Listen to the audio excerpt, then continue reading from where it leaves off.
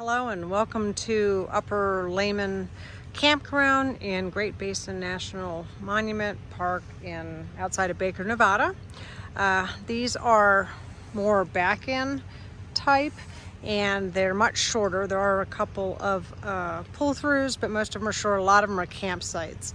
Um, there's trash cans, there's pit toilets, there's picnic tables. Okay, so I'm in, this is a typical site. My truck's 18 feet so you can see from there to the road, you may have 24 feet, 25 feet, and that's it.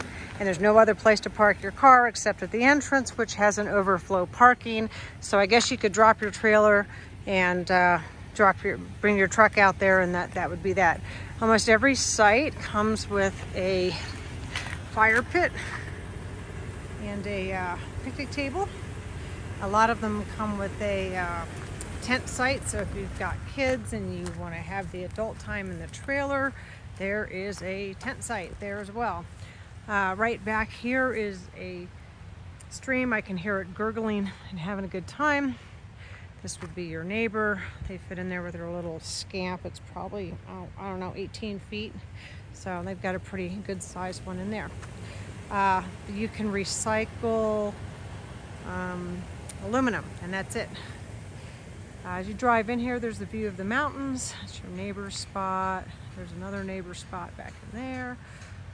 But uh, there's no view from here. There's lots of firewood at the entrance where they cut down a tree. Probably take that and split that.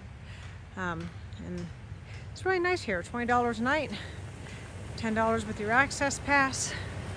And uh, there's some of the wood right there somebody brought into this site and didn't burn it. Right, don't forget to uh, subscribe and like if you found this helpful. Oh, uh, there is an RV dump and free water. Um, spigot. There it is, right there.